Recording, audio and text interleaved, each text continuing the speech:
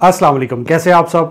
Booster dose जो है वो फाइनली मैंने लगवा ली है दो दिन पहले और मैं बिल्कुल ठीक हूँ। सो आई थॉट कि आपके साथ अपना थोड़ा सा एक्सपीरियंस शेयर किया जाए।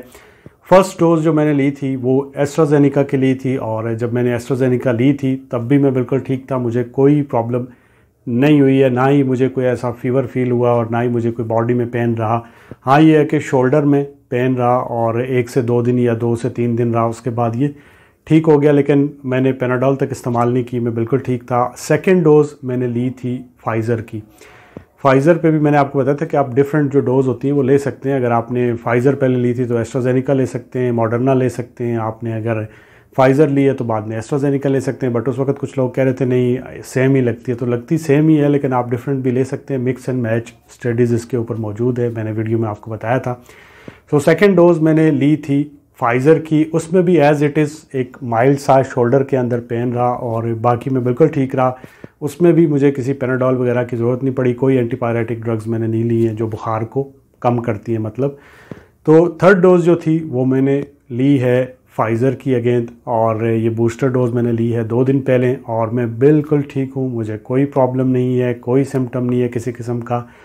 वही सेम शोल्डर के अंदर थोड़ा सा दर्द है, लेकिन अभी तक मैंने कोई पेनाडोल नहीं ली है और मैं बिल्कुल ठीक हूँ। बट हैविंग सेट दैट ये पॉसिबल है कि मुझे नहीं हुआ तो आपको फीवर हो सकता है या किसी और को फीवर हो सकता है स्पेशली अगर आपकी एज थोड़ी सी ज़्यादा है तो आपको फीवर हो सकता है। बट ये एक अच्छा साइन है कि आपकी बॉडी जो है, आपका जो इम्यून सिस्टम है, वो रिस्पॉन्ड कर रहा है, वो एंटीबॉडीज़ को बना रहा है। तो आपको डरने की ज़रूरत नहीं है टेंशन लेने की ज़रूरत नहीं है, आप जाके लगवा सकते हैं। अगर आपके छः महीने हो चुके हैं सेकेंड डोज़ के लिए हुए तो आप अपनी डोज़ की जो अपॉइंटमेंट है, वो बुक कर सकते हैं और जाके अपने नज़दीकी सेंटर से इसे लगवा सकते हैं। इसके अलावा अगर आपको थोड़ा बहुत फीवर होता है तो जैसा कि आप सबको पता है कि आप पेनाडोल वगैरह ले सकते हैं एंटीपायरेटिक ड्रग्स टाइलानोल वगैरह भी ले सकते हैं पैरासीटामोल पेनाडोल पैरासीटामोल एक ही होती हैं, आप इनमें से कोई भी ले सकते हैं, ठीक है?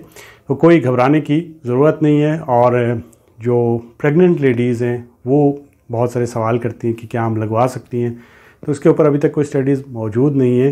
आपको अपनी चॉइस पे ही कहा जाता है कि आप जाके लगवा लें। और अगर आपका फ़र्स्ट ट्राइमेस्टर है, यानी आपके तीन महीने हुए हैं पहले या फिर सेकेंड ट्राइमेस्टर है और बहुत ज़रूरी है तो आप लगवा सकते हैं।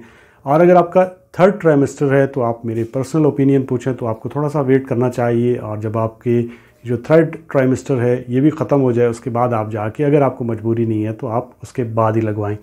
बाकी अगर आप में से कोई बीमार है तो कोशिश करिएगा, जब तक आप ठीक ना हो जाएँ, आपका फ़ीवर कम ना हो जाए, आपको गले में दर्द, ज़ुकाम वगैरह ठीक ना हो जाए थोड़ा सा इंतज़ार करके जब वो ठीक हो जाए, उसके बाद ही डोज़ लगवाएँ। बाकी कोई प्रॉब्लम नहीं है, आप जाके लगवा सकते हैं और किसी की बातों में आने की ज़रूरत नहीं है कि ये हो जाता है, वो हो जाता है, कुछ भी नहीं होता, मैं आपके सामने हूँ। दुआओं में याद रखिएगा, अल्लाह हाफ़